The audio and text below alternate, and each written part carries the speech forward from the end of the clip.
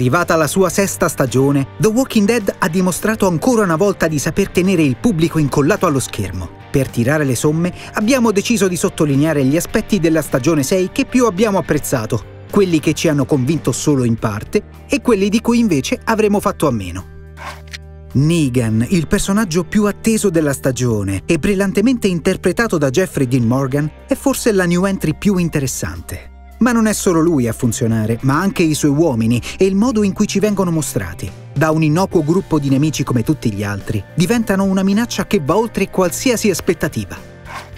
Ciò che ci ha permesso di godere maggiormente della sesta stagione è stata la regia di Greg Nicotero, che ha decisamente dato il meglio di sé. I quattro episodi diretti da lui, compreso il finale, rappresentano dal punto di vista tecnico e registico il momento più alto dell'intera serie. È difficile che in The Walking Dead i personaggi introdotti per ultimi riescano a brillare, ma figure come Eugene, Sasha, Abram e Padre Gabriel hanno acquistato un certo spessore.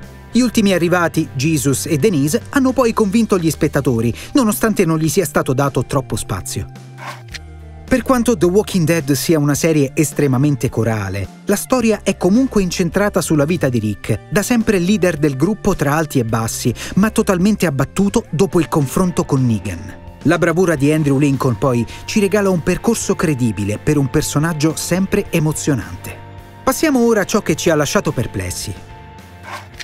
La battaglia morale tra Carol e Morgan è affascinante, ma utilizzata male, poiché spesso sovrapposta a situazioni tese dello show. I personaggi si isolano quindi dalla storyline principale e nei momenti più carichi della stagione non risultano mai sfruttati al meglio, anzi sono una distrazione sgradevole.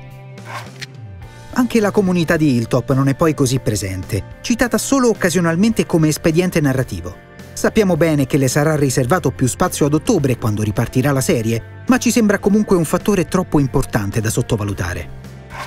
Del finale di stagione si è abbondantemente parlato, a lasciare perplessi è il modo discutibile in cui viene utilizzato l'espediente tanto caro alle serie TV del cliffhanger. Quando infatti cliffhanger poco efficaci vengono utilizzati con il solo scopo di rendere memorabile un episodio che non lo era, il trucchetto non funziona.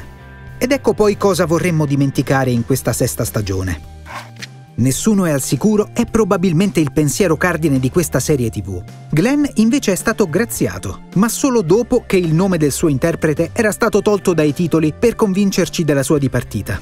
È apprezzabile cercare di far salire la tensione facendoci temere per i personaggi che più amiamo, ma nessuno ha mai reso ridicolo questo espediente narrativo quanto gli sceneggiatori di The Walking Dead.